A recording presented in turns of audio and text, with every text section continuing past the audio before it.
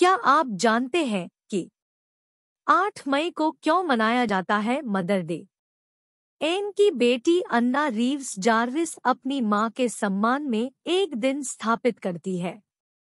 अन्ना जाविस द्वारा मई में दूसरे रविवार को मदर डे के रूप में स्थापित करने के बाद, राष्ट्रपति वुडरो विल्सन ने इस दिन को राष्ट्रीय अवकाश बनाने के लिए एक कानून पारित किया। तब से हर साल 8 मई को मदर डे मनाया जाता है।